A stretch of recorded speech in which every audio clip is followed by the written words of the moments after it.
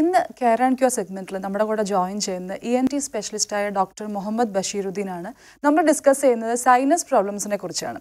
Doctor welcome to the show doctor നമുക്ക് എല്ലാവരും വളരെ കോമൺ ആയി പറഞ്ഞു കേൾക്കുന്ന ഒരു അസുഖമാണ് അല്ലെ? സൈനസൈറ്റിസ് അല്ലെങ്കിൽ സൈനസ് പ്രോബ്ലംസ് എന്ന് പറയുന്നത്. എന്താണ് ശരിക്കും സൈനസൈറ്റിസ് സൈനസൈറ്റിസ് എന്നുള്ളത് ഈ പറഞ്ഞ പോലെ തന്നെ നമ്മൾ കേട്ട് പരിചയിച്ച വളരെ സാധാരണമായി കണ്ടുവരുന്ന ഒരു പിന്നെ ഇ എൻ ടി ഇൻഫെക്ഷനാണ് അപ്പോൾ ഒട്ടുമിക്ക തലവേദനകളും പ്രത്യേകിച്ച് അത് നീണ്ടു നിൽക്കുന്നതാണെങ്കിലും അടിക്കടി വരുന്നതാണെങ്കിലും ഒക്കെ ജനങ്ങളുടെ പൊതുവെയുള്ള ധാരണ അത് സൈനസൈറ്റിസ് കൊണ്ടാണെന്നുള്ളതാണ്. പക്ഷേ തലവേദനയ്ക്ക് ഒരുപാട് കാരണങ്ങളുണ്ട്. അതിലേറ്റവും കോമൺ ആയിട്ട് കണ്ടുവരുന്നത് സൈനസൈറ്റിസ് കൊണ്ടുള്ള തലവേദന തന്നെയാണ്. സൈനസ് എന്താണെന്ന് ആദ്യം പറയാം. സൈനസ് എന്ന് പറഞ്ഞാൽ നമ്മുടെ മുഖത്ത് തലയോട്ടിക്കുള്ളിൽ പ്രത്യേകിച്ചും കാണുന്ന വായു അറകളാണ്. ചെറിയ എയർ സ്പേസ് ആണ് സൈനസ് എന്നറിയപ്പെടുന്നത്.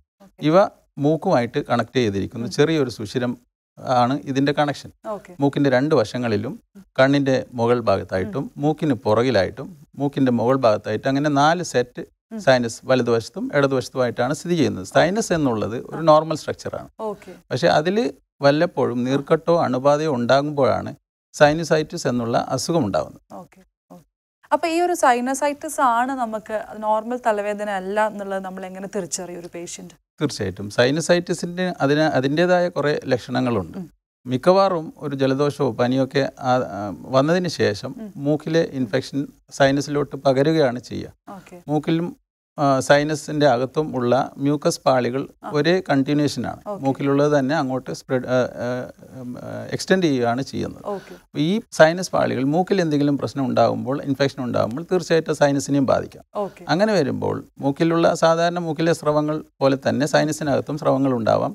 ഈ സ്രവമാണ് കവം എന്ന പേരിൽ നാം വിളിക്കുന്നത്. ഈ കവം ഒരു പരിധിയിൽ കൂടുതൽ അവിടെ കെട്ടി നിൽക്കുകയോ അല്ലെങ്കിൽ അതിന്റെ സാധാരണയുള്ള ഒഴുക്കിന് വല്ല ബ്ലോക്ക് വരിക ചെയ്യുകയാണെങ്കിൽ അവിടെ അണുബാധ ഉണ്ടാകും അണുബാധ ഉണ്ടാകുമ്പോൾ സൈനസ് ഇൻഫെക്ഷൻ ഉണ്ടാകാം. അതുമായിട്ട് ബന്ധപ്പെട്ട ലക്ഷണങ്ങളും ഉണ്ടാകാം. അപ്പൊ ഇതിന്റെ ഒരു തലവേദന നമ്മൾ എങ്ങനെയാണ് പ്രസന്റ് ചെയ്യുന്നത് ഏത് ഭാഗത്താണ് അതിന്റെ തീർച്ചയായിട്ടും. തലവേദന ഫേഷ്യൽ പെയിൻ ഡെന്റൽ പെയിൻ ഇതൊക്കെ സൈനസുമായിട്ട് ബന്ധപ്പെട്ടുണ്ടാകാം. നാല് സെറ്റ് സൈനസ് ഉണ്ടെന്ന് പറഞ്ഞല്ലോ. കവിളിൽ ഉള്ള സൈനസ് ആണ് ആ. ആ, മൂക്കിന് ഇരുവശവും ഉള്ളത്. അതിനെയാണ് മാക്സിലറി സൈനസ് എന്ന് നാം വിളിക്കുക. മാക്സിലറി സൈനസിൽ വല്ല ഇൻഫെക്ഷൻ വരുമ്പോഴാണ് പല്ലുമായി ബന്ധപ്പെട്ടും മുഖത്തും വേദന ഉണ്ടാവും. മൂക്കിനകത്തു നിന്ന് പഴുത്ത കഫം വരാം. അതിനോട് അനുബന്ധിച്ച് ചെറിയൊരു ദുർഗന്ധം പോലെ തോന്നാം.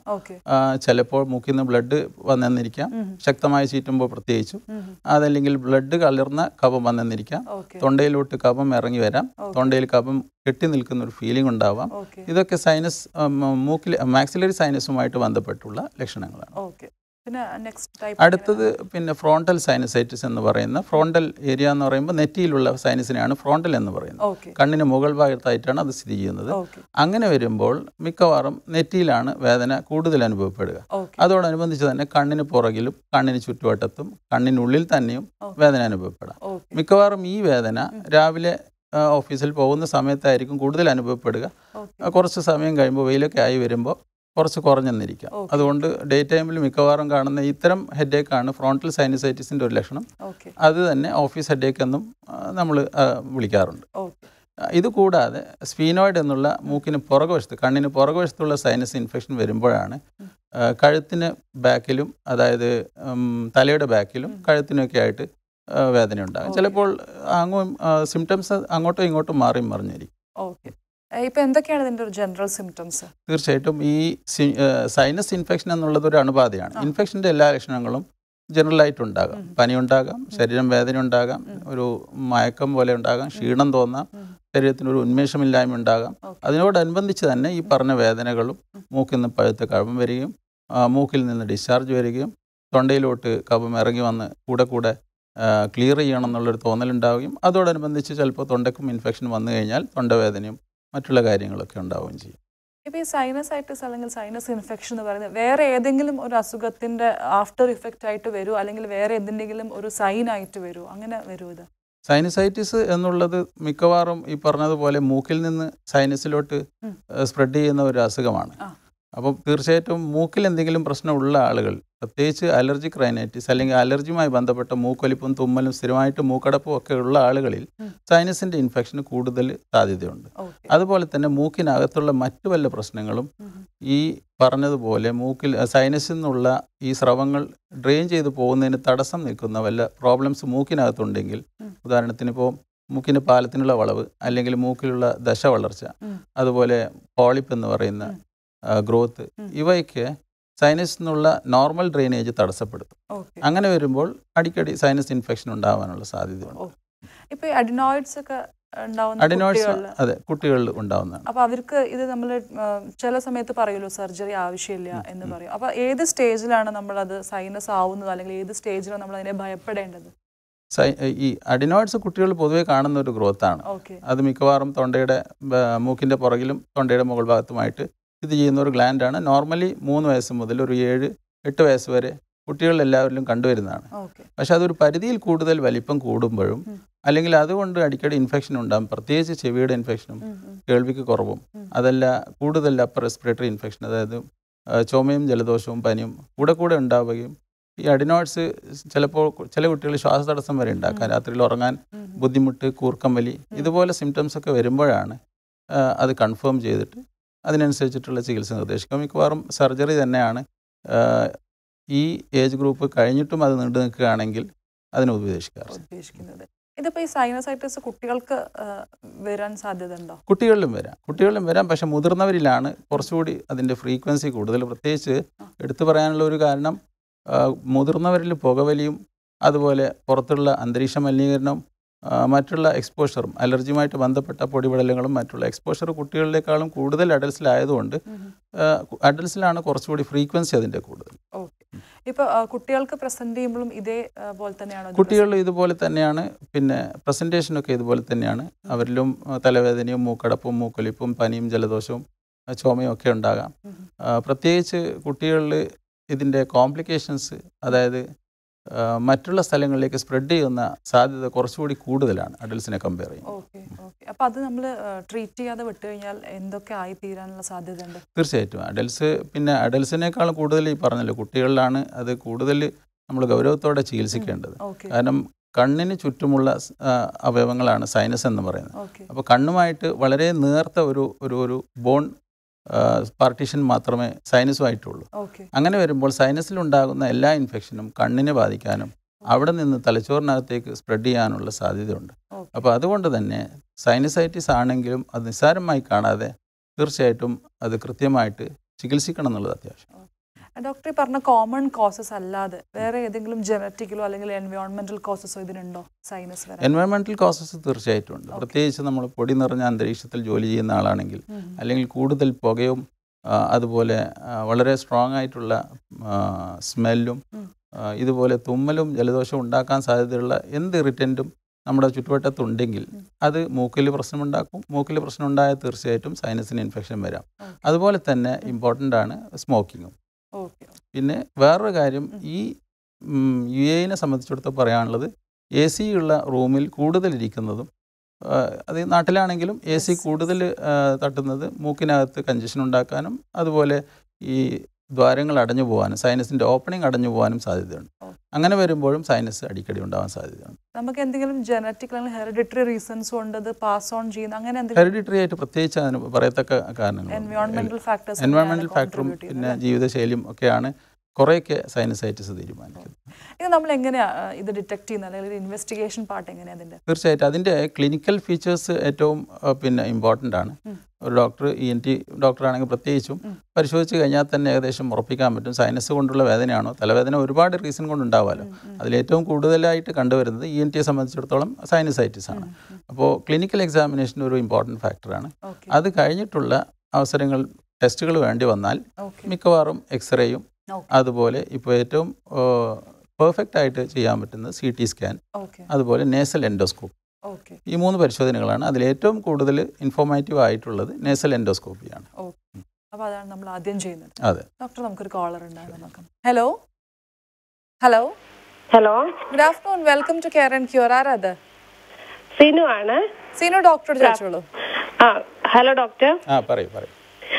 ഡോക്ടർ എന്റെ മോൾക്ക് വേണ്ടിയാണ് വിളിച്ച മോൾക്ക് ഇപ്പൊ ആറു വയസ്സായി. ഈ പനി എപ്പോഴും ചെവിക്കാത്ത വേന ഒരു വരാറുണ്ട് ഇങ്ങനെ. അപ്പം കൊണ്ട് കാണിക്കുമ്പം റെഡ്നെസ് ആന്ന് പറഞ്ഞു. ഹലോ? പറയൂ പറയൂ കേൾക്കാം. ഹലോ? ഹലോ സിനു? അതെ? ആ ഫോണിൽ ശ്രദ്ധിക്കൂ ടി വിയിൽ ശ്രദ്ധിക്കണ്ട. ആ ശ്രദ്ധിക്കുന്നില്ല. ആ പറഞ്ഞോളൂ. മോൾക്ക് ഇങ്ങനെ ചെവിക്കകത്തിൽ വേദനയുണ്ട്. ഇടയിലിടെ ഒരു രണ്ടു മാസം കൂടി ഇരിക്കുമ്പം ജലദോഷമൊക്കെ വരുമ്പോ എപ്പോഴും ചെവിക്കകത്തിൽ വേദന വരും. എത്ര വയസ്സായി മോൾക്ക്? അവ ഇപ്പൊ ആറു വയസ്സായി. പറഞ്ഞോളൂ സിനു പറഞ്ഞോളൂ. അതാ പ്രോബ്ലം എന്താ ഇങ്ങനെ വരുന്നറിയാൽ ഇങ്ങനെ ഹോൾ എന്തെങ്കിലും ഉണ്ടോ? അങ്ങനെ നമുക്ക് അറിയാൻ പറ്റുമോ ചെവിന്ന് ഡിസ്ചാർജ് വല്ലതും ഉണ്ടായിരുന്നോ? ഇല്ല ഇല്ല ഡിസ്ചാർജ് ഒന്നും ഇല്ല. വേദന എടുത്തിട്ട് നന്നായി അറിയാം ഞാൻ അഡോൾ കൊടുക്കും. അഡോൾ കൊടുത്ത് പിന്നെ കാണിക്കുമ്പം റെഡ്നെസ് ഉണ്ടെന്ന് പറയും. ഓരോ പ്രാവശ്യം ചെവിക്ക് വേദന അടപ്പാണോ ഈ കുട്ടി പറയുന്നത്? കൊറേ പ്രാവശ്യമായി. ഇപ്പൊ മിക്കവാറും ചെവിക്കകത്ത് വേദന വരും. ജലദോഷം വരുന്ന ഉടനെ. കൂടെ കൂടെ ജലദോഷം ഉണ്ടാവാറുണ്ടോ? മൂക്കലിപ്പ് തുമ്മലൊക്കെ? തുമ്മലൊന്നും ഇല്ല. കുട്ടി കൂർക്കം വലിക്കാറുണ്ടോ രാത്രി? ഇല്ല ഇല്ല ഇല്ല. അഡിനോയിഡ്സിന്റെ പ്രശ്നങ്ങളൊന്നും ഇല്ല എന്ന് ഉറപ്പ് വരുത്തിയാണല്ലോ അല്ലേ ആ ഇല്ല ഇല്ല ഒന്നുമില്ല. അലർജിയുടെ പ്രശ്നങ്ങൾ വല്ലതും ഉണ്ടായിരുന്നോ? ഡോക്ടറെ കണ്ടായിരുന്നോ എവിടെയെങ്കിലും? ആ ഡോക്ടറെ കണ്ടായിരുന്നു. നാട്ടിൽ പോയപ്പം ഇ എൻ ടി കാണിച്ചത്. അപ്പം പറഞ്ഞു ഇങ്ങനെ മൂക്കിൽ ഇങ്ങനെ നമ്മൾ ജലദോഷം ഒരു അധികം പ്രഷറായിട്ട് ഇങ്ങനെ ചീറ്റരുത്.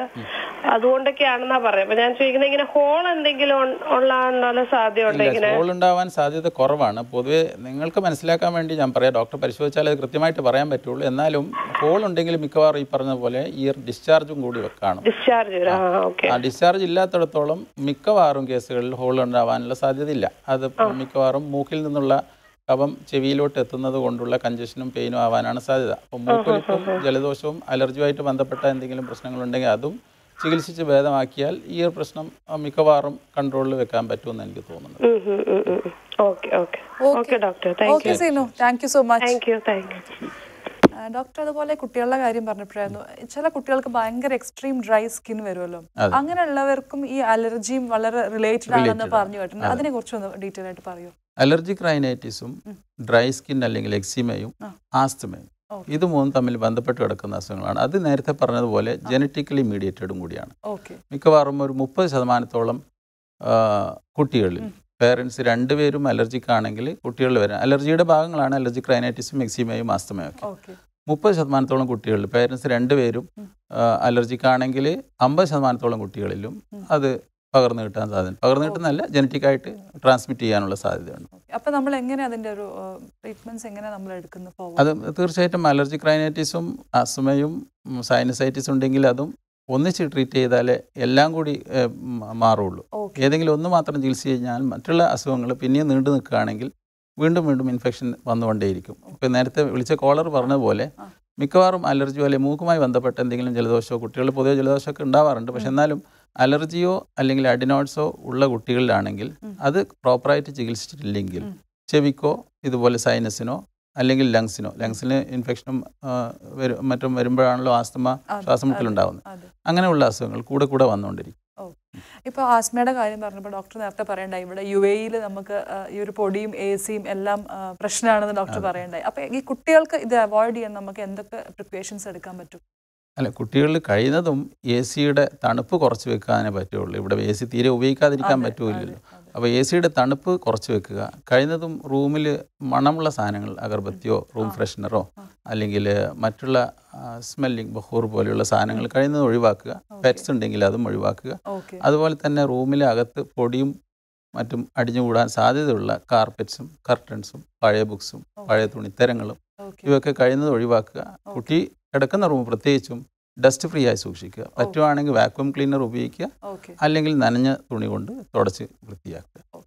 ഡോക്ടർ നമ്മളിപ്പോൾ ഈ ഒരു സൈനസൈറ്റിസിലേക്ക് തിരിച്ചു വന്നു കഴിഞ്ഞാൽ ഇത് നമ്മൾ ട്രീറ്റ് ചെയ്യാതെ വിട്ടു കഴിഞ്ഞാൽ അല്ലെങ്കിൽ അതിന്റെ ഒരു ഫർദർ അഡ്വാൻസ് ആയി കഴിഞ്ഞാൽ വരാവുന്ന കോംപ്ലിക്കേഷൻസ് എന്തൊക്കെയാണ്? സൈനസൈറ്റിസ് തീർച്ചയായിട്ടും വളരെ കുറച്ച് നാൾ നീണ്ടു നിൽക്കുന്ന ആകുമ്പോഴാണ് നമ്മൾ അക്യൂട്ട് സൈനസൈറ്റിസ് എന്ന് പറയുക ഓക്കെ. ആന്റിബയോട്ടിക്കോട് കൊടുത്താൽ അതുപോലെ തന്നെ കഫം അലിയിച്ച് കളയാനുള്ളതും അലർജി ഉണ്ടെങ്കിൽ അതിനുള്ള മെഡിസിനും കൊടുത്തു കഴിഞ്ഞാൽ മിക്കവാറും കേസുകളിൽ രണ്ടാഴ്ച മൂന്നാഴ്ച കൂടുമ്പോൾ അത് ക്ലിയർ ആവേണ്ടതാണ്. ഇനി മൂന്നാഴ്ച ആന്റിബയോട്ടിക് കൊടുത്തിട്ടും ക്ലിയർ ആവാത്ത സൈനസൈറ്റിസ് ആണ് നമ്മൾ ക്രോണിക് ആയിട്ട് കൺസിഡർ ചെയ്യുന്നത് അത് രണ്ട് വിധത്തിലുള്ള സൈനസൈറ്റിസ് ആണ്. ഒന്ന് അക്യൂട്ടും ഒന്ന് ക്രോണിക്കുമാണ് ക്രോണിക് സൈനസൈറ്റിസ് മരുന്നുകൊണ്ട് മാത്രം മാറാൻ സാധ്യത കുറവാണ്. അപ്പോൾ അതിനുള്ള ചെറിയ ചികിത്സകൾ സർജറി ഇൻക്ലൂഡിങ് സർജറി വേണ്ടി വരും. ഡോക്ടർ നമുക്കൊരു caller hello hello good afternoon good afternoon welcome to care and cure ആരാ ഇത് എന്റെ പേര് വിജയലക്ഷ്മി എന്നാണ്. ഓക്കെ. ചോദിച്ചോളൂ വിജയലക്ഷ്മി. ഡോക്ടറോട് ഒരു കാര്യം ചോദിക്കാൻ വേണ്ടിയിട്ടായിരുന്നു. Good afternoon doctor. Good afternoon പറയൂ. എനിക്ക് ഒരു ഫോർ ഫൈവ് ഇയേഴ്സ് ആയിട്ട് എന്റെ കഴുത്തിന്റെ പുറത്തുള്ള അതായത് ത്രോട്ടിന്റെ പുറത്തുള്ള നേഴ്സ് ഒക്കെ ഇങ്ങനെ പാടുന്ന സമയത്തൊക്കെ പെയിൻ വരാറുണ്ട്. പിന്നെ അത് ഗ്രാജുവൽ ആയിട്ട് ഇൻക്രീസ് ചെയ്ത് വന്നതാണ്. പിന്നെ എനിക്ക് റീസെന്റ് ആയിട്ട് പറയാനായിട്ട് ഒരു രണ്ട് വർഷമായിട്ട് രണ്ടര വർഷം വരും. എനിക്ക് ഇങ്ങനെ ഒരു ശ്വാസം മുട്ടലിന്റെ ഒരു അസുഖം വന്നു. അത് ഇതുവരെയായിട്ട് ഇത്ര കാലങ്ങളില്ലായിരുന്നു ഇപ്പോഴാണ് അത് സ്റ്റാർട്ട് ചെയ്തത്. അപ്പോ അതുമായിട്ട് റിലേറ്റഡ് ആണോ? ഇപ്പൊ എന്തായാലും അപ്പോ ഇടയ്ക്ക് ഞാനിങ്ങനെ ഹോമിയോ ട്രീറ്റ്മെന്റ് ഒക്കെ എടുത്തോണ്ടിരുന്നു. അലോപ്പതി എടുത്തിട്ട് കുറയാത്തതുകൊണ്ടാണ് ഹോമിയോ ട്രീറ്റ്മെന്റ് ഒക്കെ ചെയ്തത്. പിന്നെ അതിൽ അത് വരുമ്പോൾ ഹോമിയോ ട്രീറ്റ്മെന്റ് ചെയ്യുമ്പോൾ അത് സപ്രസ് ചെയ്ത് അങ്ങ് പോവാറുണ്ട്. അങ്ങനെ ഒരു അഡ്ജസ്റ്റ്മെന്റിൽ പോയിക്കൊണ്ടിരിക്കുവാണ്. പക്ഷെ ഇപ്പൊ ഉള്ള ഒരു കാര്യം എന്താന്ന് വെച്ചാൽ ഈ കഴുത്തിന് ഹൈ പിച്ച് പാടാൻ പറ്റത്തില്ല. എനിക്കിങ്ങനെ ബ്രേക്ക് വരുന്നു. സൗണ്ട് ഇങ്ങനെ നല്ലോണം ഇങ്ങനെ കോൾഡ് വന്ന് ഇങ്ങനെ മുറിഞ്ഞു പോകും പോലെ വരുന്നു. അതും അതുമല്ല എന്ത് ആഹാരം കഴിച്ചാലും എന്ത് രാവിലെ എണീക്കുമ്പോഴായിരുന്നാലും വായ്ക്കകത്ത് ഇങ്ങനെ ഒരു കൊഴുപ്പുള്ള ദ്രാവകം വരുന്നു. അപ്പൊ അതിങ്ങനെ തുപ്പി തുപ്പി ഭയങ്കര ഡിസ്റ്റർബൻസ് അത്. തലവേദനയോ മൂക്കൊലിപ്പോ അല്ലെങ്കിൽ തുമ്മലോ വല്ലതും ഉണ്ടോ? അലർജിയുമായിട്ട് ബന്ധപ്പെട്ട എന്തെങ്കിലും പ്രശ്നങ്ങളുണ്ടോ? തുമ്മലില്ല എനിക്ക്. ഈ ഒരു സംഭവം മാത്രമേ ഉള്ളൂ എനിക്ക്. ഞാൻ എരിവുള്ള ഭക്ഷണം കഴിക്കുന്ന ആളല്ല. പിന്നെ ചിൽഡ് സാധനങ്ങൾ കഴിക്കുന്ന ആളല്ല. പിന്നെ ചൂടായിട്ട് കുറച്ച് ആഹാര സാധനം കറക്റ്റ് ടൈമിന് കഴിക്കണം. അതൊക്കെയാണ് എന്റെ ഒരു രീതി എന്ന് പറഞ്ഞാൽ പക്ഷെ ഈ ഒരു ഡിസ്റ്റർബൻസ് ഭയങ്കരമായി ഇപ്പൊ ഞാൻ ഒരു വൺ വീക്ക് ബിഫോർ ഒരു ഡോക്ടറെ കണ്ടു ഞാൻ ഇ എൻ ടിയെ നിവർത്തി നിവർത്തിയില്ലാണ്ട് കണ്ടുപോയത്. അപ്പൊ അന്നേരം ഡോക്ടർ പറഞ്ഞ അനുസരിച്ചിട്ട് ഇപ്പോ സൈനസിന്റെ എന്തെങ്കിലും പ്രോബ്ലം ആയിരിക്കും എന്ന് വെച്ചിട്ട് ഇപ്പോ ടാബ്ലറ്റ്സ് കഴിച്ചുകൊണ്ടിരിക്കുന്നു പിന്നെ ബ്ലഡ് കൗണ്ട് കുറവാണ്. വൈറ്റമിൻ ഡി കുറവാണെന്ന് പറഞ്ഞു. അപ്പൊ അതിനായിട്ട് കഴിക്കുന്നു. അപ്പൊ ഡോക്ടറുടെ ഒരു അഡ്വൈസ് പറയൂ. എന്തെങ്കിലും ഞാൻ ചെയ്യണോ? എന്താണ്? എനിക്കിപ്പോ പാടാൻ പറ്റാത്തതിലാണ് ഭയങ്കര വിഷമം. വോയിസ് ട്രെയിൻ സ്ട്രെയിൻ വരുമ്പോൾ മാത്രമാണോ? വോയിസ് സ്ട്രെയിൻ ചെയ്യുമ്പോൾ മാത്രമാണോ ശബ്ദത്തിന് വ്യത്യാസം വരുന്നത്? അല്ലാത്ത സമയത്ത് സാധാരണ സംസാരിക്കുമ്പോഴൊക്കെ ഉണ്ടോ ഇങ്ങനെ പ്രശ്നങ്ങൾ സാധാരണ സംസാരിക്കുമ്പോ ഇല്ല. പാടുമ്പോ മാത്രമേ ഉള്ളൂ. അതായത് അതൊരു വിഷമമാണ് ഡോക്ടർ എനിക്ക്. മനസ്സിലായി. എക്സ്പ്ലനേഷൻ തന്നെ മനസ്സിലായി എത്ര വിഷമമുണ്ടെന്നുള്ളത്. പക്ഷെ എന്നാലും അതൊരു കൃത്യമായ പരിശോധന ഇല്ലാണ്ട് എനിക്കിപ്പോൾ കൃത്യമായിട്ട് ഒരു ഒരു ഒരു ഗൈഡൻസ് തരാൻ പ്രയാസമാണ്. എന്നാലും രണ്ടു മൂന്ന് കാരണങ്ങൾ പറയാം. ഒന്ന് സൈനസുമായിട്ട് ബന്ധപ്പെട്ട എന്തെങ്കിലും ഇൻഫെക്ഷൻ ഉണ്ടെങ്കിൽ സൈനസ് തീർച്ചയായിട്ടും തലവേദന ഉണ്ടാക്കാം. പക്ഷേ എല്ലാ കേസിലും തലവേദന മാത്രം മാത്രമായിക്കൊള്ളണമെന്നില്ല. ചില ചെറിയ തോതിലുള്ള ഇൻഫെക്ഷൻ ആണെങ്കിൽ പ്രത്യേകിച്ചും ഹോമിയോപ്പത്തിക്കും മറ്റുള്ള മെഡിസിൻസ് ഒക്കെ ഇടയ്ക്ക് കഴിച്ചതാണല്ലോ. അപ്പോൾ ഫ്രാങ്ക് ആയിട്ടുള്ളൊരു വേദന കൂടാതെ വേദന ഇല്ലാതെ തന്നെ കഫം സൈനസിൽ നിന്ന് തൊണ്ടയിലോട്ട് ഇറങ്ങി വരികയും അതൊരു ഡിസ്റ്റർബൻസ് ആയിട്ട് എപ്പോഴും തൊണ്ടയിൽ കെട്ടി നിൽക്കും അത് കഫമായിട്ടല്ല ഒരു സലൈവയാണ് കട്ടിയുള്ള സലൈവ ആയിട്ടാണ് അത് തുപ്പണം ഇങ്ങനെ എപ്പോഴും ഇങ്ങനെ തുപ്പണം. അതെ അപ്പൊ അത് സൈനസിന്റെ ഇൻഫെക്ഷൻ ഉണ്ടെങ്കിലും അങ്ങനെ വരാന്നാണ് ഞാൻ പറഞ്ഞു വരുന്നത്. അതുപോലെ തന്നെ അസിഡിറ്റി ഉള്ളവരിലും ഗ്യാസ്ട്രൈറ്റിസ് ഉണ്ടെങ്കിലും അതിന്റെ റിഫ്ലക്സ് കൊണ്ടും തൊണ്ടയിൽ പ്രശ്നങ്ങൾ ഉണ്ടാകാം. അപ്പോൾ തൊണ്ടയിൽ വോക്കൽ കോഡിന്റെ ഏരിയയും തൊണ്ടയുടെ കംപ്ലീറ്റ് ഒരു എൻഡോസ്കോപ്പിക് പരിശോധന നടത്തിയാലേ കൃത്യമായിട്ട് എന്താണ് പ്രശ്നം എന്നുള്ളത് മനസ്സിലാക്കാൻ പറ്റുകയുള്ളൂ. അപ്പോൾ ഇപ്പൊ തൽക്കാലം ഇ എൻ ടി ഡോക്ടർ പറഞ്ഞതുപോലെ സൈനസൈറ്റിസിനുള്ള ട്രീറ്റ്മെന്റ് എടുത്തല്ലോ എടുക്കുന്നുണ്ടല്ലോ. അപ്പോൾ അത് കഴിഞ്ഞിട്ട് കംപ്ലീറ്റ് മാറുന്നില്ല എന്നുണ്ടെങ്കിൽ തീർച്ചയായിട്ടും ഒന്നുകൂടി എൻ ഡി ഡോക്ടറെ കണ്ടിട്ട് എൻഡോസ്കോപ്പിക് ഇവാലുവേഷൻ ചെയ്താൽ നമുക്ക് കൃത്യമായിട്ട് നേരിട്ട് കാണാൻ പറ്റും. എൻഡോസ്കോപ്പി എന്ന് പറയുന്നത് ഡേയ്സ് ആണ് ഡോക്ടർ ഇപ്പോ ഇത് ഇത്രയും കാര്യങ്ങൾ ഉപയോഗിക്കാൻ എന്നോട് പറഞ്ഞിരിക്കുന്നത് എന്നിട്ട് പോകാൻ പറഞ്ഞു. പിന്നെ വേറെ ഒരു ഒരു കാര്യം കൂടി എക്സ്ട്രാ പറഞ്ഞു. എന്റെ തൊണ്ടയ്ക്കകത്ത് സ്വെല്ലിംഗ് ഉണ്ടെന്ന് പറഞ്ഞു. രണ്ടു ഭാഗം ഇങ്ങനെ കുറച്ച് സ്വെല്ലിംഗ് ആയിട്ടുണ്ട്. ആ ഇൻഫ്ലമേഷൻ അത് പോകാൻ വേണ്ടിയിട്ടാണ് ഒരു ടാബ്ലറ്റ് തന്നിരിക്കുന്നതെന്ന് പറഞ്ഞു. ഓക്കെ അത് ഏതായാലും രണ്ടാഴ്ച കഴിക്കുക. എന്നിട്ട് കംപ്ലീറ്റ് ശരിയാവുന്നില്ല എന്നുണ്ടെങ്കിൽ ഒരു ഒരു എക്സ്ട്രാ പരിശോധന എന്നുള്ള നിലയ്ക്ക് എൻഡോസ്കോപ്പിയും കൂടി ചെയ്ത് നോക്കിയാൽ നമുക്ക് കൃത്യമായിട്ട് മനസ്സിലാക്കാൻ പറ്റും എന്തുകൊണ്ടാണ് ഇങ്ങനെ അടിക്കടി പ്രശ്നം വന്നുകൊണ്ടിരിക്കുന്നുള്ളത് ആ ഓക്കെ. വോക്കൽ കോഡിന്റെ എന്താ അതാണോ ടെസ്റ്റ് ചെയ്യേണ്ടത് ഡോക്ടർ? വോക്കൽ കോഡും ഫാരിങ്സും അടങ്ങിയ തൊണ്ടയുടെ എല്ലാ ഭാഗങ്ങളും. ഫാരിങ്സ് എന്നുള്ളത് ഫുഡ് പൈപ്പിന്റെ ഭാഗമാണ്. മറ്റേ വോക്കൽ കോഡ് എന്നുള്ളത് സൗണ്ട് ഏരിയയുടെ ഭാഗമാണ്. ഓ ആ ശരി. ആ. Okay Vijayalakshmi thank you doctor. Okay thank you so much doctor ഈ ഒരു സൈനസ് പ്രോബ്ലംസിന്റെ ഒരു ട്രീറ്റ്മെന്റ്സ് എങ്ങനെയൊക്കെയാണ്? എന്തൊക്കെയാണ് ട്രീറ്റ്മെന്റ്സ് ട്രീറ്റ്മെന്റ് നമ്മൾ പറഞ്ഞു തുടങ്ങിയതേ ഉള്ളൂ നേരത്തെ. അപ്പോൾ മെഡിക്കൽ ട്രീറ്റ്മെന്റ് ആണ് മിക്കവാറും അക്യൂട്ട് സൈനസൈറ്റിസ് നേരത്തെ പറഞ്ഞല്ലോ അക്യൂട്ട് ആൻഡ് ക്രോണിക് സൈനസൈറ്റിസ് ഉണ്ടെന്നുള്ളത്. അക്യൂട്ട് എന്നുള്ളത് കുറച്ച് ദിവസം നീണ്ടു നിൽക്കുന്ന സൈനസൈറ്റിസ് ആണ്. പെട്ടെന്ന് വന്ന് ഒരു ആഴ്ച രണ്ടാഴ്ചയോ ട്രീറ്റ്മെന്റ് എടുത്താൽ മാറിപ്പോകുന്ന തരത്തിലുള്ള സൈനസൈറ്റിസ് ആണ് അക്യൂട്ട് എന്നറിയപ്പെടുന്നത്. ഇതിൽ മിക്കവാറും ആന്റിബയോട്ടിക് ട്രീറ്റ്മെന്റ് ആണ് നമ്മൾ ആദ്യം സജസ്റ്റ് ചെയ്യാറ്. അതിന് പറ്റിയ ആന്റിബയോട്ടിക് ഏജ് അനുസരിച്ചിട്ട് ബോഡി വെയിറ്റ് അനുസരിച്ചിട്ട് ഒരാഴ്ച ചിലപ്പോൾ പത്ത് ദിവസം അല്ലെങ്കിൽ രണ്ടാഴ്ച വരെ അതിന്റെ സിവിയറിറ്റി അനുസരിച്ചിട്ട് കൊടുക്കേണ്ടി വരും. സാധാരണ ഇൻഫെക്ഷനിലൊക്കെ കൊടുക്കുന്ന പോലെ മൂന്ന് ദിവസം അഞ്ച് ദിവസം കഴിച്ചാൽ പോരാ. അത് പ്രത്യേകം ശ്രദ്ധിക്കേണ്ടതുമാണ്. ഡോക്ടർ നിർദ്ദേശിക്കുന്ന അനുസരിച്ച് ആ ഡ്യൂറേഷൻ മൊത്തമായി കഴിച്ചാൽ തലവേദന മാറിയിട്ടുണ്ടെങ്കിലും അല്ലെങ്കിൽ സിംറ്റംസ് മാറിയിട്ടുണ്ടെങ്കിലും അതിന്റെ പൂർണമായ കോഴ്സ് കംപ്ലീറ്റ് ചെയ്തില്ലെങ്കിൽ കുറച്ച് ദിവസം കഴിഞ്ഞ് പിന്നെയും ഇത് റിപ്പീറ്റ് ചെയ്യാനുള്ള സാധ്യതയുണ്ട്. അത് മൊത്തത്തിൽ മൊത്തത്തിൽ നമ്മൾ പൊതുവേ ചെയ്യുന്ന ഒരു ഒരു ഫോൾട്ടാണ് ഒന്നുകിൽ നമ്മൾ നേരിട്ട് പോയി ഫാർമസിയിൽ നിന്ന് വാങ്ങിക്കും. ഏതായാലും ആന്റിബയോട്ടിക് അല്ലേ എന്നുള്ളത്. അതിലും വ്യത്യാസമുണ്ട്. ആന്റിബയോട്ടിക് ചില ഇൻഫെക്ഷനുള്ള പ്രത്യേകതരം ആന്റിബയോട്ടിക് ഉണ്ട്. സൈനസ് ഇൻഫെക്ഷനിൽ മറ്റുള്ള സാധാരണ ആന്റിബയോട്ടിക് ചിലപ്പോൾ ഇഫക്റ്റീവ് ആയെന്ന് വരില്ല. അപ്പോൾ അതിന് കൃത്യമായ ആന്റിബയോട്ടിക് ഡോക്ടർ നോക്കിയിട്ട് പരിശോധിച്ചിട്ട് നിർദ്ദേശിച്ച കാലാവധി പൂർത്തിയായിട്ട് കഴിക്കണം. അതോടൊപ്പം തന്നെ ഇമ്പോർട്ടന്റ് ആയിട്ട് കഴിക്കാനുള്ള വേറൊരു മെഡിസിനാണ് മ്യൂക്കോലിറ്റിക് എന്നുള്ളത്. മ്യൂക്കസ് അതായത് കഫം കട്ടി കുറക്കാനുള്ളതും അത് അലിയിച്ച് പെട്ടെന്ന് സൈനൽസ് വെളിയിലോട്ട് ഇറക്കാനുമുള്ള ഒരു തരം ഗുളികയാണ് മ്യൂക്കോലൈറ്റിക് എന്നറിയപ്പെടുന്നു. അതുപോലെ തന്നെ അലർജി ഉണ്ടെങ്കിൽ അതും ചികിത്സിക്കണം. അതോടൊപ്പം വളരെ പ്രാധാന്യത്തോടെ ചെയ്യേണ്ടത് സ്റ്റീം ഇൻഹലേഷൻ. അതും ഒരു പരിധിയിലപ്പുറം നല്ല ഗുണം ചെയ്യും സൈനസ് ഇൻഫെക്ഷൻ പെട്ടെന്ന് കുറയാൻ. ഇത്രയാണ് മെഡിക്കൽ ട്രീറ്റ്മെന്റ് ഇങ്ങനെ വന്ന് ഒരാഴ്ച രണ്ടാഴ്ച അല്ലെങ്കിൽ മൂന്നാഴ്ച വരെ സിവിയറിറ്റി അനുസരിച്ചിട്ട് ആന്റിബയോട്ടിക് കഴിച്ചിട്ടും കുറയാത്ത കേസസ് ആണ് നമ്മൾ ക്രോണിക് സൈനസൈറ്റിസ് എന്ന് പൊതുവെ വിളിക്കുന്നത്. അങ്ങനെയുള്ള കേസുകളിൽ കൂടുതൽ പരിശോധനകൾ ആവശ്യമാണ്. ഓക്കെ ഡോക്ടർ നമുക്കൊരു കോളർ ഉണ്ട്. Hello hello hello good afternoon welcome to care and cure ആരത്? ഗുഡ് ആഫ്റ്റർനൂൺ എന്റെ പേര് പ്രവീൺ എന്നാണ്. ഓക്കെ പ്രവീൺ ഡോക്ടറോട് സംസാരിച്ചോളൂ. ഹായ് ഡോക്ടർ ഹലോ പറയൂ. ഡോക്ടർ ആക്ച്വലി ഒരു കുറെ വർഷങ്ങളായിട്ട് എനിക്ക് മൈഗ്രെയിൻ എനിക്കുണ്ട്. ആക്ച്വലി സംടൈംസ് ഇപ്പൊ നമ്മൾ ലെഫ്റ്റ് സൈഡിലാണെങ്കിൽ നെക്സ്റ്റ് ടൈം വരുന്ന റൈറ്റ് സൈഡിലായിരിക്കും ആ റോഡിലാണ് ഓർഡറിലാണ് വരിക. അതോടൊപ്പം തന്നെ വരുന്ന സമയത്ത് കഴുത്തിന്റെ പുറകിലായിട്ട് ഒരു ചെറിയ പെയിന് കാര്യങ്ങളൊക്കെ ഫീൽ ചെയ്യാറുണ്ട്. അതുപോലെ ലൈറ്റ് സെൻസിറ്റീവ് ലൈറ്റ് സെൻസിറ്റീവ് ആണ്. ലൈറ്റിന് കാണാൻ പറ്റില്ല. അങ്ങനത്തെ ഒരു സിറ്റുവേഷൻ ഉണ്ട്. അപ്പം അത് മൈഗ്രൈൻ കഴിഞ്ഞാൽ നമുക്ക് എന്താ പറയാ നമ്മൾ പുറത്തേക്കൊക്കെ നോക്കുമ്പോൾ ഓവർ ലൈറ്റ് ഒരു നമുക്ക് എന്താ പറയാ കണ്ണിന് കറക്റ്റ് ഫോക്കസ് ചെയ്യാൻ പറ്റാത്ത രീതിയിൽ അങ്ങനത്തെ പ്രശ്നമാണ്. അപ്പൊ ഈ മൈഗ്രൈനും ഈ കണ്ണിന്റെ കാഴ്ചയും തമ്മിൽ എന്തെങ്കിലും റിലേഷൻ ഉണ്ടോ? കണ്ണിന്റെ കാഴ്ചയും മൈഗ്രെയിനും തമ്മിൽ നേരിട്ട് റിലേഷൻ എന്ന് പറയാൻ പറ്റില്ല. പക്ഷേ മൈഗ്രെയിൻ ഉള്ള ഒട്ടുമിക്ക പേഷ്യൻസിലും അതുമായിട്ട് ബന്ധപ്പെട്ട് തലവേദനയുമായിട്ട് ബന്ധപ്പെട്ട് വരുന്ന മറ്റ് ലക്ഷണങ്ങളാണ് ഈ കാഴ്ചക്കുള്ള കുറവും. അതുപോലെ തന്നെ ഛർദ്ദിക്കാൻ തോന്നുക. ബ്രൈറ്റ് ലൈറ്റ് കാണുമ്പോൾ ഉള്ള ഒരു അസ്വസ്ഥത. ഒന്ന് ഛർദ്ദിച്ച് കഴിഞ്ഞാൽ ചിലപ്പോൾ ഒരു മാറ്റം തോന്നുക. ചിലർക്ക് കൈക്കോ കാലിനോ തരിപ്പോ ബലക്കറവോ ടെമ്പററി ആയിട്ടുണ്ടാവാം. ഇതൊക്കെ മൈഗ്രെയിൻ ഹെഡേക്കുമായിട്ട് ബന്ധപ്പെട്ട് വരുന്ന ലക്ഷണങ്ങളാണ്. അല്ലാതെ കാഴ്ചക്ക് നേരിട്ട് ബാധിക്കുന്ന അസുഖമല്ല മൈഗ്രെയിൻ ഓക്കെ. നമ്മളിപ്പം ഇത് അതുപോലെ മൂക്കട മൂക്കടപ്പ് എന്താ ഫീൽ ചെയ്യാറുണ്ട്? ഇപ്പം ഇപ്പം ലെഫ്റ്റ് സൈഡ് ആണെങ്കിൽ ലെഫ്റ്റ് സൈഡ് ലെഫ്റ്റ് എന്താ പറയാ ബ്ലോക്കേജ് ഫീൽ ചെയ്യുക അങ്ങനത്തെ പ്രോബ്ലംസ് ഉണ്ട്. അപ്പൊ നമുക്ക് ഇങ്ങനത്തെ സിറ്റുവേഷൻ എന്താണ്? പെട്ടെന്ന് മെഡിസിൻ എന്തെങ്കിലും ചെയ്യാൻ പറ്റുമോ? അങ്ങനെ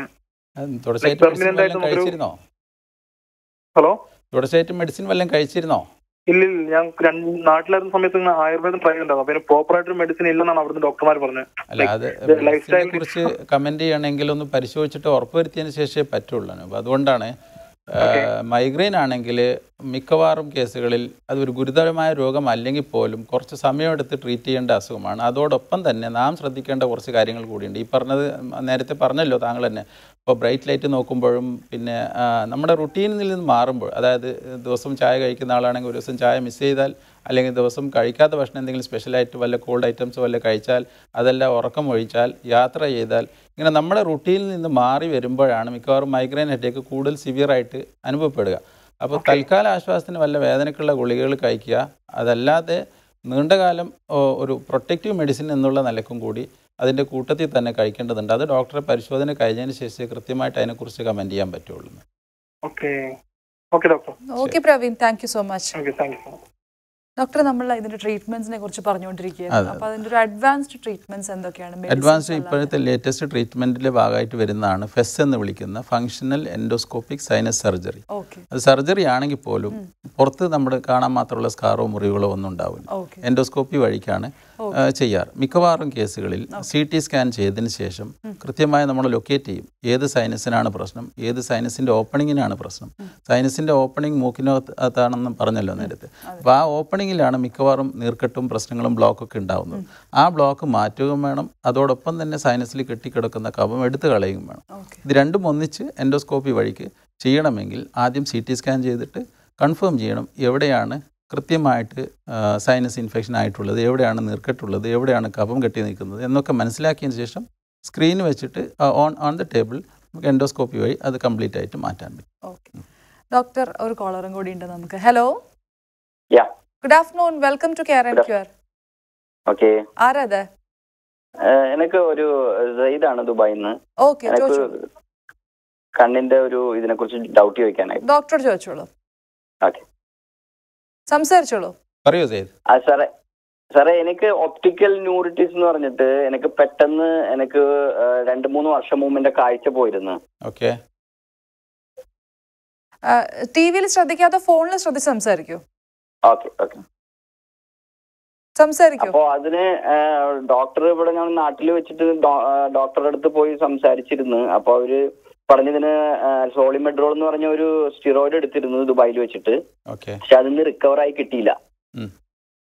അപ്പോ അതിനുശേഷം പിന്നെ വേറെ രണ്ട് മൂന്ന് സ്ഥലത്ത് കാണിച്ചു. പക്ഷെ ഇപ്പോഴും കാഴ്ച ഇതുവരേക്കും റിക്കവർ ആയി കിട്ടിയിട്ടില്ല. അത് അത് അത് മാത്രമാണോ പ്രശ്നം? ചെയ്ത് ഓപ്റ്റിക്കൽ ന്യൂറൈറ്റിസ് എന്ന് പറയുന്നത് കംപ്ലീറ്റ്ലി ഐ സ്പെഷ്യലിസ്റ്റുമായിട്ട് ബന്ധപ്പെട്ട ഫീൽഡാണ് ചെയ്ത് അതുകൊണ്ട് നമ്മുടെ ഇന്നത്തെ ടോപ്പിക്കുമായിട്ടും ഞാനുമായിട്ട് വലിയ ബന്ധമില്ലാത്തതാണ്. അതുകൊണ്ട് ക്ഷമിക്കുക. സ്പെഷ്യലിസ്റ്റിനെ കണ്ടോളൂ കേട്ടാ.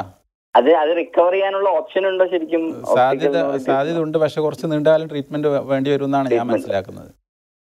Okay okay okay so much Okay. Thank you bye doctor നമ്മൾ അലർജി എന്ന് പറയുന്നത് ഒരു വാസ്റ്റ് ടോപ്പിക് ആണ്. അതെ നേരത്തെ പറഞ്ഞത് പിന്നെ കംപ്ലീറ്റ് ആയില്ല എന്ന് തോന്നുന്നു. ഫെസ്സിനെ കുറിച്ച് നമ്മൾ പറഞ്ഞു ഫെസ്സിന്റെ. അപ്പോൾ ഫെസ്സിന്റെ വേറൊരു ഗുണം എന്താന്ന് വെച്ചാൽ നമ്മൾ ചെയ്ത് സർജറി ചെയ്താൽ മുമ്പൊക്കെ സർജറി ചെയ്യുമ്പോൾ സൈനസിന്റെ ഓപ്പണിംഗ് എന്ന് വെച്ചാൽ വായക്കകത്ത് കൂടെ മുറിവുണ്ടാക്കിയിട്ട് അത് കൂടെ സൈനസ് ഓപ്പൺ ചെയ്തിട്ട് കപമൊക്കെ വലിച്ച് എടുക്കുന്ന രീതിയായിരുന്നു പണ്ടൊക്കെ ചെയ്തിരുന്നത്. അതിപ്പോൾ ഫെസ് ആകുമ്പോൾ പുറത്ത് മുറിവൊന്നുമില്ല. അതുകൊണ്ട് പേഷ്യൻസിന് ഒറ്റ ദിവസം കൊണ്ട് തന്നെ ആശുപത്രിയിൽ നിന്ന് വിട്ടു പോവാം കൂടുതൽ വേദന ഉണ്ടാവില്ല. പക്ഷെ കൃത്യമായിട്ട് ഡോക്ടർ പറയുന്ന അവസരങ്ങളിൽ തിരിച്ച് റിവ്യൂ ചെക്കപ്പ് ചെയ്യുകയും അലർജിയോ മറ്റു പ്രശ്നങ്ങളോ കൂടെ ഉണ്ടെങ്കിൽ അതൊക്കെ ഒന്നിച്ച് ചികിത്സിക്കുകയും വേണം. ഡോക്ടർ അലർജിനെ കുറിച്ച് പറഞ്ഞുകൊണ്ടിരുന്ന നമ്മൾ അലർജിക് ടോപ്പിക്കിലേക്ക് വരികയാണ്. ഈ അലർജി റൈനൈറ്റിസ് ഡോക്ടർ പറയണ്ടായി നേരത്തെ. അതിനെ കുറിച്ച് ഒന്ന് എക്സ്പ്ലെയിൻ ചെയ്യൂ. അലർജിക് റൈനൈറ്റിസ് എന്നുള്ളത് മൂക്കിൽ ഉണ്ടാകുന്ന അലർജിയാണ്. സാധാരണ നമ്മൾ ജലദോഷം എന്ന് പൊതുവെ വിളിക്കുന്ന അസുഖ ലക്ഷണങ്ങളാണ് അലർജിയിൽ ഉണ്ടാവുക പക്ഷെ രണ്ടും രണ്ടാണ്. അലർജിയിൽ ഉണ്ടാകുന്നത് മൂക്കൊലിപ്പും തുമ്മലും മൂക്കടപ്പും ആണെങ്കിലും മിക്കവാറും പനി ഉണ്ടാവാറില്ല. നമ്മുടെ ജലദോഷവും പനിയൊക്കെ വരുമ്പോൾ പനി അതിന്റെ ഒരു ഭാഗമാണല്ലോ. അതുപോലെ അലർജിയിലും മൂക്കൊലിപ്പും തുമ്മലും മൂക്കടപ്പും ഉണ്ടാവും. പക്ഷെ പനി മിക്കവാറും ഉണ്ടാവാറില്ല. തുമ്മാൻ തുടങ്ങിയാൽ തുമ്മിക്കൊണ്ടേയിരിക്കും. എന്തെങ്കിലും പൊടിയോ പുകയോ അല്ലെങ്കിൽ സ്മെല്ലോ അല്ലെങ്കിൽ എ സിയുടെ തണുപ്പോ ഇതുപോലത്തെ എന്തെങ്കിലും അകത്ത് ചെല്ലുമ്പോഴാണ് ശരീരം അമിതമായി പ്രതികരിക്കുന്നത്. സാധാരണ ഒരാൾ രണ്ടോ മൂന്നോ പ്രാവശ്യം തുമ്മും. അലർജി ഉള്ള ആളാണെങ്കിൽ തുമ്മിക്കൊണ്ടേയിരിക്കും. അതാണ് അലർജി ക്രൈനൈറ്റിസ് എന്ന് നാം വിളിക്കുന്നത്. ഓക്കെ. അതേപോലെ ഡോക്ടർ ഈ ഡയബറ്റീസ് ആൻഡ് ബ്ലഡ് പ്രഷർ ഉള്ള പേഷ്യൻസിനെ അലർജി എങ്ങനെയാണ് ബാധിക്കുന്നത്? അല്ലെങ്കിൽ അവരുടെ അതിന്റെ ഒരു കോംപ്ലിക്കേഷൻസ് എന്തൊക്കെയായിരിക്കും? അല്ല ഇങ്ങനെയുള്ള ആൾക്കാർക്ക് ഇൻഫെക്ഷൻ വരാനുള്ള സാധ്യത കൂടുതലാണ്. പ്രത്യേകിച്ച് ഡയബറ്റീസ് ഉള്ള ആൾക്കാർക്ക് ഏത് തരം ഇൻഫെക്ഷൻ ആണെങ്കിലും പെട്ടെന്ന് ഉണ്ടാവാനുള്ള സാധ്യതയുണ്ട്. അലർജി ഓൾറെഡി ഉള്ള ആളാണെങ്കിൽ അയാൾക്ക് ഡയബറ്റീസും കൂടി ഉണ്ടെങ്കിൽ പ്രത്യേകിച്ച് ശ്രദ്ധിക്കേണ്ട അലർജിയുടെ ട്രീറ്റ്മെന്റ് കൃത്യമായിട്ട് എടുക്കുക ഡയബറ്റീസും കൺട്രോളിൽ വെക്കുക. ഇല്ലെങ്കിൽ എല്ലാ ഇൻഫെക്ഷനും പോലെ തന്നെ മൂക്കിലും സൈനസിലും തൊണ്ടയിലും അത് ചിലപ്പോൾ താഴോട്ട് ഇറങ്ങി ലങ്സിലും വരെ ഇൻഫെക്ഷൻ ആവാനുള്ള സാധ്യതയുണ്ട്. ന്യൂമോണിയ അടക്കമുള്ള അസുഖങ്ങൾ വരാനും സാധ്യത കൂടുതലാണ്. ഡോക്ടർ അതേപോലെ നമ്മൾ നേസൽ പോളിപ്സ് എന്ന് പറയുന്നത് ആ ഒരു അവസ്ഥയെ കുറിച്ച് നേരത്തെ പറഞ്ഞ് പിന്നെ കുറച്ച് ഒരു ഒരു പകുതി പറഞ്ഞു വെച്ചതാണ്. മ്യൂക്കസ് പാളികളാണ് സൈനസിനകത്തുള്ളത്. ഈ മൂക്കിലും സൈനസിനകത്തുള്ള മ്യൂക്കസ് പാളികൾ ഒരേ കണ്ടിന്യൂഷനാണ്. ഈ മ്യൂക്കസ് പാളികളിൽ എന്തെങ്കിലും നീർക്കെട്ട് വരുമ്പോഴാണ് സൈനസൈറ്റിസ് ഉണ്ടാവുന്ന നേരത്തെ പറഞ്ഞല്ലോ. അത്. ഒരു പരിധിയിൽ കൂടുതൽ നീർക്കെട്ട് അങ്ങനെ നീണ്ടു നിൽക്കുമ്പോഴാണ് ഒരു ദശ പോലെ അത് വളർന്നു വരും. ഇതിനെയാണ് നേസൽ പോളിപ്പ് എന്ന് പറയുക. ഈ നേസൽ പോളിപ്പ് പ്രശ്നങ്ങൾ ഒന്നുകൂടി വർദ്ധിപ്പിക്കും. അപ്പോൾ തീർച്ചയായിട്ടും നേസൽ പോളിപ്പും കൂടി ഉണ്ടെങ്കിൽ മെഡിക്കൽ ചികിത്സ മാത്രം പോരാ. അത് എൻഡോസ്കോപ്പി ചെയ്തിട്ട് നേരത്തെ പറഞ്ഞതുപോലെ ഫെസ് ചെയ്തിട്ട് അത് റിമൂവ് ചെയ്യും കൂടി വേണം. കുട്ടികളിൽ കണ്ടുവരുന്നുണ്ടോ? കുട്ടികളിലും കണ്ടുവരാം പക്ഷേ പൊതുവെ കുറവാണ്. അതേപോലെ നമ്മൾ പറയുമല്ലോ മൂക്കിന്റെ പാലം വളഞ്ഞിരിക്കുന്നു അതുകൊണ്ട് പ്രശ്നങ്ങൾ ഉണ്ടാവുന്നു. അതിനെ കുറിച്ച് അത് ഒട്ടുമിക്ക ആൾക്കാർക്ക് ഉണ്ടാവുന്ന വേറെ സംശയമാണ്. മൂക്കിന്റെ പാലത്തിനുള്ള ഒരു വളവ് ഏകദേശം ഒരു എഴുപത്തി അഞ്ച് മുതൽ എൺപത് ശതമാനം പേർക്കും ഉണ്ടാവും. നോർമൽ ആയിരിക്കും തന്നെ മൂക്കിന്റെ പാലം ഒരു സൈഡിലോട്ട് അങ്ങോട്ടോ ഇങ്ങോട്ടോ വളഞ്ഞിരിക്കാം. അതുകൊണ്ട് വലിയ കാര്യമായിട്ടുള്ള കുഴപ്പമൊന്നും ഉണ്ടാവാറില്ല പക്ഷേ ഇതുപോലെ അലർജിയോ അല്ലെ സൈനസ് ഇൻഫെക്ഷന്റെ സാധ്യത കൂടുതലുള്ള ആൾക്കാരിൽ മൂക്കിന്റെ പാലത്തിന് വളവും കൂടി ഉണ്ടെങ്കിൽ പ്രശ്നങ്ങൾ കൂടുതൽ വഷളാവാൻ പെട്ടെന്ന് സാധ്യതയുണ്ട്. ഓക്കെ അപ്പൊ ഇത് നമ്മൾ കറക്റ്റ് ചെയ്യേണ്ട കാര്യമുണ്ടോ? സർജിക്കൽ കറക്ഷൻസ് തീർച്ചയായിട്ടും. അതൊരു കാരണമാണെങ്കിൽ മൂക്കിന്റെ പാലത്തിനുള്ള വളവ് ഈ പറഞ്ഞ ഓസ്റ്റി അതായത് സൈനസിന്റെ ഓപ്പണിംഗിൽ എവിടെയെങ്കിലും ബ്ലോക്ക് ഉണ്ടാക്കുന്നുണ്ടെങ്കിൽ മനസ്സിലാക്കി കഴിഞ്ഞാൽ അത് തീർച്ചയായിട്ടും കറക്റ്റ് ചെയ്യേണ്ടതുണ്ട്. മൂക്കിന്റെ പാലത്തിന്റെ വളവാണോ അതിന്റെ റീസൺ എന്നുള്ളത് എൻഡോസ്കോപ്പി ചെയ്താൽ മനസ്സിലാക്കും. അതുപോലെ ഡോക്ടർ കുട്ടികൾക്ക് ചിലപ്പോൾ ഇങ്ങനെ മൂക്കിന്റെ പാലത്തിൽ ചെറിയൊരു വളവുണ്ട്. പക്ഷെ അവർ വലുതാവുമ്പോൾ ശരിയാവും എന്ന് പറയുന്ന അങ്ങനെ അങ്ങനെ പറഞ്ഞു കേൾക്കാറുണ്ട് അതിലെന്തെങ്കിലും വാസ്തവം ഉണ്ടോ നമ്മൾ കറക്റ്റ് ചെയ്യണോ സ്ട്രക്ചറൽ ഡിഫോമിറ്റി മിക്കവാറും നമ്മൾ ഫേഷ്യൽ ഡെവലപ്മെന്റ് കംപ്ലീറ്റ് ചെയ്യുന്നതിന് മുമ്പ് ചെയ്യാറില്ല. ഓക്കെ. മൂക്കിന്റെ പാലത്തിനുള്ള വളവ് unless it is very severe okay. നമ്മളത് സൈനസിന്റെ ഇൻഫെക്ഷൻ വളരെ ഗുരുതരമായി ഉള്ള മൂക്കിന്റെ പാലത്തിലുള്ള വളവ് കൊണ്ടാണെന്ന് മനസ്സിലാക്കി കഴിഞ്ഞാൽ പതിനേഴ് പതിനെട്ട് വയസ്സിന് മുമ്പ് മൂക്കിന്റെ പാലത്തിനുള്ള വളവ് ശരിയാക്കാറുള്ളൂ.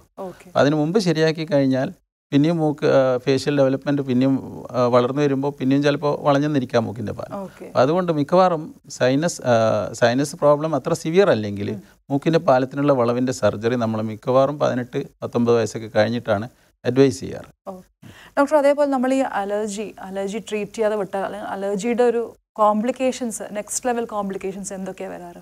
അലർജിയുടെ കോംപ്ലിക്കേഷൻസ് മിക്കവാറും ഈ പറഞ്ഞതുപോലെ ഇൻഫെക്ഷനാണ് ഒരു പരിധിയിൽ കൂടുതൽ അലർജി റിപ്പീറ്റഡ് ആയിട്ട് വരുമ്പോൾ അത് അതിന്റെ പരിസരങ്ങൾ ഇപ്പോൾ മൂക്കിന്റെ അലർജി ആണെങ്കിൽ മൂക്കും സൈനസും ചെവിയുമായിട്ട് ബന്ധപ്പെട്ട് കിടക്കുന്നതുകൊണ്ട് ഈ മൂന്ന് ഏരിയകളിൽ ഇൻഫെക്ഷൻ ഉണ്ടാകാൻ സാധ്യതയുണ്ട്. അത് നേരെ മറിച്ച് താഴോട്ട് ഇറങ്ങി തൊണ്ടയിലോട്ട് ഇറങ്ങുകയാണെങ്കിൽ തൊണ്ടയ്ക്ക് അടിക്കടി ഉണ്ടാകുന്ന ഇൻഫെക്ഷൻ അതുപോലെ ലങ്സിൽ ഇറങ്ങുകയാണെങ്കിൽ ആസ്തമ എന്നൊക്കെ പറഞ്ഞു ശ്വാസം മുട്ടലും ആസ്തമയുമായി ബന്ധപ്പെട്ട ലക്ഷണങ്ങൾ ഉണ്ടാകും ഡോക്ടർ നമുക്കൊരു കോൾ ഉണ്ട്. Hello hello good afternoon welcome to care and cure ആരാധ good afternoon Seema. Sorry Seema Seema okay Seema doctor ചോദിച്ചോളൂ. Okay good afternoon doctor yeah good afternoon doctor ഒരു സംശയം ചോദിക്കാനാണ്. എനിക്ക് എപ്പോഴും ഇങ്ങനെ ഈ കണ്ണിന്റെ മുകളിലും എന്ന് വെച്ചാൽ ഐബ്രോയിന്റെ അവിടെയും പിന്നെ കണ്ണിന്റെ താഴെ ചീക്ക് ബോൺസും പിന്നെ നമ്മുടെ ജോസ് പിന്നെ തലയുടെ മോൾ ഭാഗത്തും ഞെക്കുമ്പോ മിക്കവാറും പെയിൻ ഉണ്ടാവാറുണ്ട്. അപ്പൊ ഞാൻ രണ്ടുമൂന്ന് ഇ എൻ ടിക്കാരെ ഡോക്ടർമാരെ കാണിച്ചപ്പോ അവർ പറഞ്ഞത് അത് സൈനസ് അല്ല. അത് നിങ്ങൾക്ക് തോന്നുന്നത് അത് എന്തെങ്കിലും ഒരു വേറെ എന്തെങ്കിലും ഒരു അലർജി ആയിരിക്കും എന്നും പറഞ്ഞ് പലരും അങ്ങനെ പറഞ്ഞു. വലിയ കാര്യമുള്ളതാ പക്ഷെ എനിക്ക് സ്ഥിരം ഇങ്ങനെ ഒരു പെയിൻ വരുന്നുണ്ട്. അപ്പൊ അത് എന്തുകൊണ്ടാണെന്നൊന്ന് പറയാവോ ടെസ്റ്റുകൾ വല്ലതും നടത്തിയായിരുന്നോ? ആ അവർ എക്സ്റേ എടുക്കാൻ പറഞ്ഞായിരുന്നു. അപ്പൊ അതിന്റെ അകത്ത് ഒന്നും കെട്ടി കിടപ്പില്ലായിരുന്നു. അപ്പൊ അവർ പറഞ്ഞു അതുകൊണ്ട് ഇത് സൈനസ് അല്ലെന്ന് പറഞ്ഞു. മൂക്കൊലിപ്പോ കബോ അല്ലെങ്കിൽ തുമ്മലോ മൂക്കിന്ന് പുറകിൽ നിന്ന് കബം വരുമോ അല്ല ഉണ്ടോ? ഇല്ല അത് അങ്ങനെ ഇല്ല. ആ സമയത്തൊന്നും ഇല്ല. അത് ഇങ്ങനെ കബം വന്നിട്ട് ഈ പെയിൻ അങ്ങനല്ല. വേദന സ്ഥിരമായിട്ട് ഉണ്ടാവാറുണ്ടല്ലോ വല്ലപ്പോഴും ഇടക്കിടക്ക് വിട്ടു ഇടക്കിടക്ക് വരാറുണ്ട്.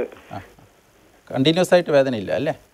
ആ ഇങ്ങനെ പെയിൻ അപ്പൊ ആ പെയിൻ ചില സമയം ഇങ്ങനെ പിന്നെ ഞാൻ കുറെ ആവി പിടിക്കും. ആവി പിടിക്കുമ്പോൾ പിന്നെ ഇങ്ങനെ കുറയും. പക്ഷെ എപ്പോഴും ഇങ്ങനെ ആഴ്ചയിൽ ഒരു രണ്ട് മൂന്ന് പ്രാവശ്യമെങ്കിലും ആവി പിടിക്കേണ്ടി വരും. അല്ല ആവി പിടിക്കുന്നതുകൊണ്ട് വേറെ പ്രത്യേകിച്ച് കുഴപ്പമൊന്നുമില്ലല്ലോ. അത് കണ്ടിന്യൂ ചെയ്യുക. അതുകൊണ്ട് മാറ്റം കിട്ടുന്നുണ്ട് പക്ഷേ വേറൊരു കാര്യം സൂചിപ്പിക്കാനുള്ളത്. എക്സ്റേ പരിശോധന ഒരു കൃത്യമായ നൂറ് ശതമാനം സൈനസൈറ്റിസ് ഉറപ്പിക്കാനുള്ള പരിശോധനയല്ല. അപ്പോൾ അതുകൊണ്ട് സൈനസിന്റെ പ്രശ്നം ഉണ്ടാവാൻ ചെറിയ തോതിലെങ്കിലും സാധ്യതയുണ്ട്. ഈ ലക്ഷണം കേട്ടിട്ട്. അപ്പോൾ ഒരു എൻഡോസ്കോപ്പി സൗകര്യമുള്ള ഇ എൻ ടി ഡോക്ടറെ പോയി കണ്ടു കഴിഞ്ഞാൽ എൻഡോസ്കോപ്പി നേസൽ എൻഡോസ്കോപ്പി എന്നുള്ള ചെറിയൊരു പരിശോധന വേദനയൊന്നും ഇല്ലാത്തതാണ്. അനസ്തീഷ്യന്റെ ആവശ്യമില്ല. ഒരു ചെറിയ ട്യൂബ് മൂക്കിനകത്ത് കടത്തിയിട്ട് മൂക്കിനകത്തുള്ള സൈനസിന്റെ ഓപ്പണിങ്ങും കാര്യങ്ങളൊക്കെ നോക്കുവാനുള്ള ഒരു പരിശോധനയാണ്. അത് ചെയ്തു കഴിഞ്ഞാൽ കൃത്യമായിട്ട് സൈനസിന്റെ പ്രശ്നം കൊണ്ടാണോ ഈ പറയുന്ന സിംറ്റംസ് ഉണ്ടാവുന്നതെന്നുള്ളത് മനസ്സിലാക്കാൻ പറ്റും. അപ്പോൾ അങ്ങനെ മനസ്സിലാക്കി കഴിഞ്ഞാൽ പിന്നെ സംശയം തീർന്നു കഴിഞ്ഞാൽ പിന്നെ ആവി പിടിച്ച് കണ്ടിന്യൂ ചെയ്താൽ മതിയല്ലോ. ആ ഓക്കെ. ശരി. Okay Seeba thank you so much for calling thank you. Thank you bye doctor നമ്മൾ ഈ സൈനസൈറ്റിസ് ഉണ്ടാവാതിരിക്കാനും അതുപോലെ ഉള്ളവരും ശ്രദ്ധിക്കേണ്ട കാര്യങ്ങളെ കുറിച്ചൊന്ന് പറഞ്ഞു. മിക്കവാറും സൈനസൈറ്റിസ് മൂക്കുമായിട്ട് ബന്ധപ്പെട്ട പ്രശ്നങ്ങളിൽ നിന്നാണ് തുടക്കമെന്ന് പറഞ്ഞല്ലോ. അപ്പോൾ അതുകൊണ്ട് മൂക്കൊലിപ്പ് ജലദോഷം ഇതുപോലെ അടിക്കടി വരുന്ന ആളുകൾ പ്രത്യേകം ശ്രദ്ധിക്കേണ്ടത് പൊടിയും പുകയും എ സിയുടെ നേരെയുള്ള തണുപ്പും. പെട്ടെന്നുള്ള ടെമ്പറേച്ചർ ചേഞ്ചസ് അത് എ സിയിൽ നിന്ന് പെട്ടെന്ന് വെളിയിലോട്ട് ഇറങ്ങുക അല്ലെങ്കിൽ ഫുൾ വിയർത്ത് കുളിച്ച് പെട്ടെന്ന് എ സിയിലോട്ട് കയറുക.